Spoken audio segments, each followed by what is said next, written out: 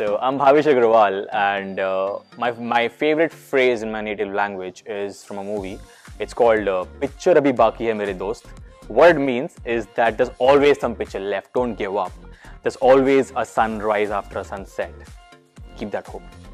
Hi, my name is Florence, and my favorite sentence in my native language is "Qui peut le plus peut le moins," which translates to "Who can do the most can also do the least," because it's about ambition and that there's no limit to what you can do.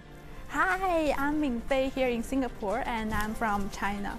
So my favorite phrase in Chinese will be 家和万事兴, which means that as long as in our family we are peaceful and harmonious, everything will be good. Hi, my name is Ophélie and my favorite phrase in my native language is qui ne tente rien n'a rien.